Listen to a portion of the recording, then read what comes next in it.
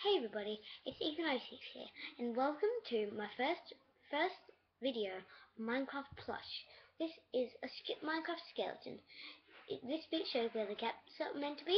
Its face has two eyes, a nose and a mouth. Its eyes is black, and then grey, and then black. And then this these two bits are black, and the rest is grey. And then and then me show you this. It's important. Alright. And then we have the feet.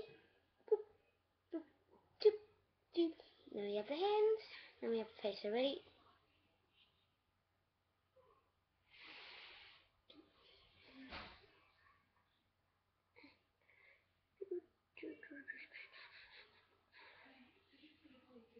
There you go. All finished.